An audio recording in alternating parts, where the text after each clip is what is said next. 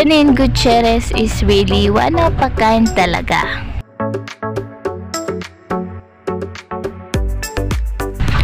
From her talent, character, and beauty ay talaga namang hahangaan mo si Janine kaya naman hindi nakapagtataka kung bakit napakarami ang nagmamahal sa kanya.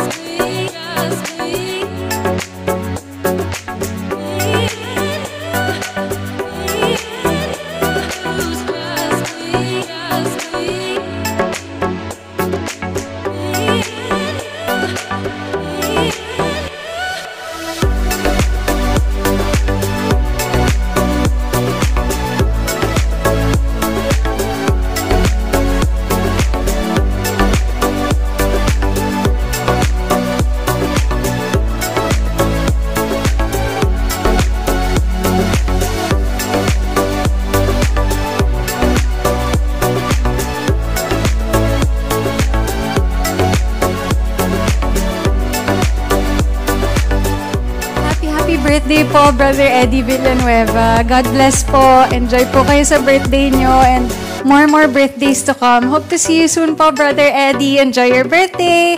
Bye po! Hello to all the members of Team Worldwide. Kumusta kayo? Ingat kayo palagi and hope to see you soon.